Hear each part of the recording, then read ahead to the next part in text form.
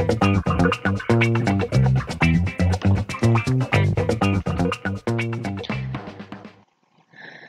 everyone, Louise here from Monaghan Town Library. Today we're bringing you a video on a craft with an Easter theme, so we really hope you enjoy doing it. And again, we want to see your finished craft in the comment section afterwards. And just remember, at any stage you can pause and rewind the video if you get stuck on any of the steps. So happy Easter everyone! So this is going to be our craft for today. Some of you may recognise these. We um, would have ran this with some of the school groups in the library.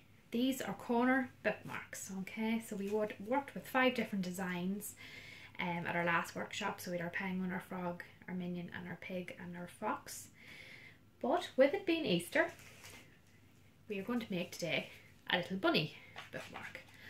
Okay, so the way these work, you're reading your book and you want to mark your page, you take your little corner bookmark and tuck them over the edge.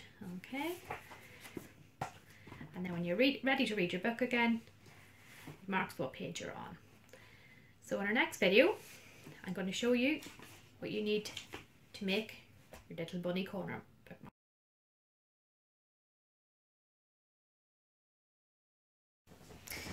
Now here is what we need to make our little bunny bookmark. Okay, so you're going to need glue, Pritt stick or a glue stick, You'll also need a black pen or a marker or even a crayon. Um, doesn't necessarily have to be black, but the darker the better, just to put in some of the small details here on our bunny. Also going to have to use some scissors to cut out the initial parts, so I recommend an adult use these or they're only used under adult supervision. The main part of our bunny rabbit is this square here. So this is a 6 inch by 6 inch square. So the more square this is, the tidier your bookmark will be. So that's quite important. After that, we just have some of the details for him. So we have a little set of ears here. These do not have to be a particular length. You can cut them as large as you want. Do remember though, on the back of your bookmark, you will be gluing them on. Okay, so you will need a little bit of extra there that you're not going to see. Also have the inserts here for the ears. So just a little bit smaller. You can see here in our main bookmark. You can use um, googly eyes if you have them or you can make your own little eyes. So with these here, basically what I did was just, I got the bottom of a jumbo crayon, lined out a piece of paper, drew around it and cut it out. So you can use anything at all that's circular. Here we have his teeth, so just two little strips. Again, they will be glued so you can make them as long or short as you want by gluing them further in. This is his little muzzle here, so it's kind of like a number eight and we just have a little triangle here for his nose. The carrot as well here um, isn't cut to any particular size so I just have a little orange paper little green section there as well. And the carrot is completely optional. You don't have to include it if you do not want to. You do not have to use pink. You can use any colour you like. If you don't have a colour coloured paper it's fine to take some white paper. And maybe you want to paint it a colour you want to use. Or you could make your bunny entirely white. It doesn't matter. Whatever colour you choose. So in our next video, I'm going to show you how to fold this square section here to make the base for your bookmark.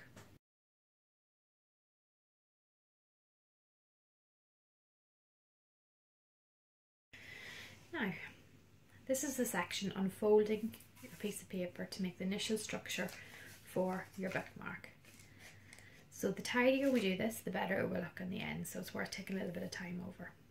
So first of all, I'm going to turn the piece of paper so it makes the shape of a diamond. I'm going to fold this top point towards this corner.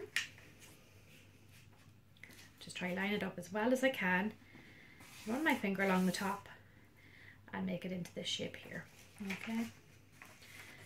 So I folded that in half to make a triangle. I'm going to keep the folded side towards myself, taking the top layer this point here and fold it towards that line and I want to line up this point with the line as best I can so this is the shape I've ended up with here okay so taking this corner I'm going to fold it up towards the top And again, just running my finger along it to make this shape. I'm going to do the same on the other side. Again, taking this far corner here, folding it up towards the top and running my finger along it there. So this is the shape I've ended up with here. So I'm back to a square.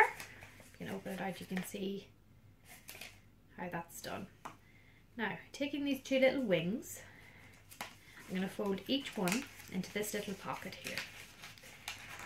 I want to get this as neat as possible, trying to keep it in line. And again, just coming over it so it's good and folded. Okay, do the same on the other side. Again, just tucking it in, keep it as neat as I can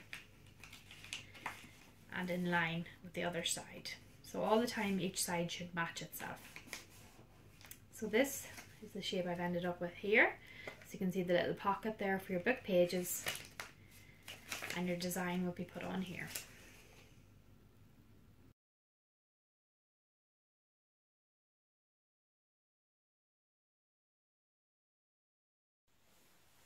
Now we are ready to put our little bunny together. So we're going to take our little folded piece and we're going to point it this way. So we're going to have the little pocket with a split down the middle pointing up the way and that is going to be his head. Now there's no particular order for sticking on these bits. You can start wherever you like.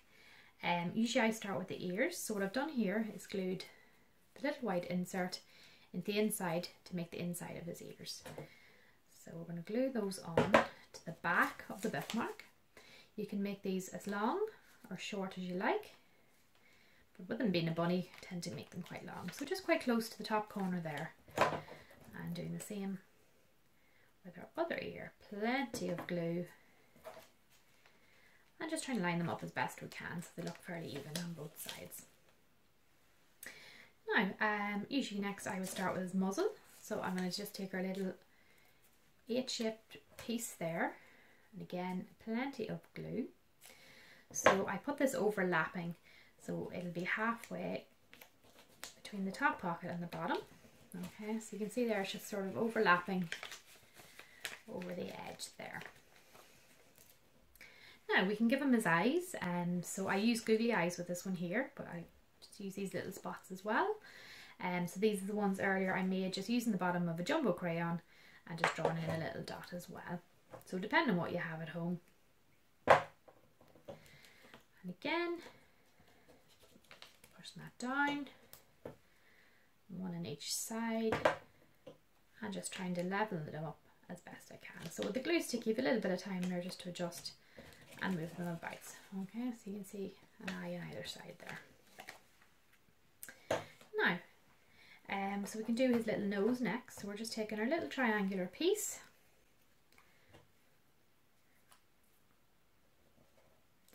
Plenty of glue on it there.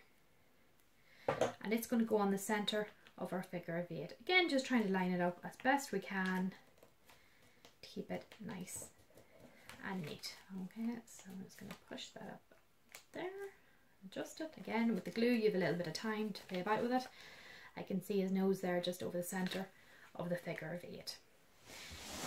Now, next for his teeth. So we're just taking our little strips of white and plenty of glue. Now these are going to go to the inside of your pocket. Okay, so I'm going to stick onto the inside just behind your muzzle there. Again, as with the ears, you can make these as long or short as you like. They don't have to be perfectly straight um, depending on what kind of look you want for your little bunny. So again, on the other side, and I'm going to the inside of the pocket here, and just gluing that on, just pressing it down so it's good and neat. So now that's the main bit of our bunny. So if you've decided to give your bunny a little bit of carrot here, I've already stuck on the leaves up the top here. Just to add a bit more detail, you can take your pen or your marker and what you can do is just draw on some half circles. Okay. So seeing what I'm doing there, I'm just drawing on some little circles just to give the carrot a little bit more detail.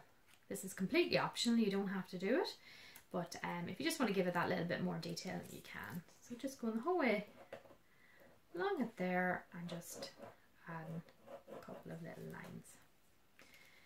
Now, so adding some glue to our card, plenty of glue, can't have enough glue. And we're going to take it to the inside of our pocket, just to make sure it looks like it's in his mouth, just behind his teeth there.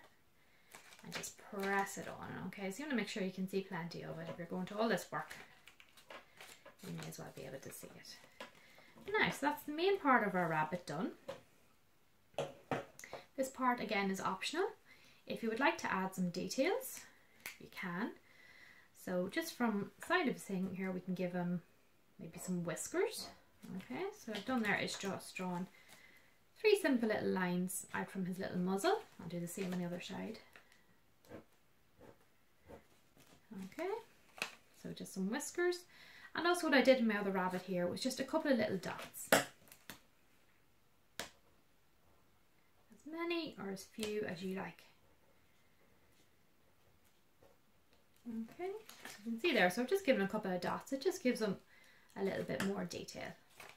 And that is our finished bookmark.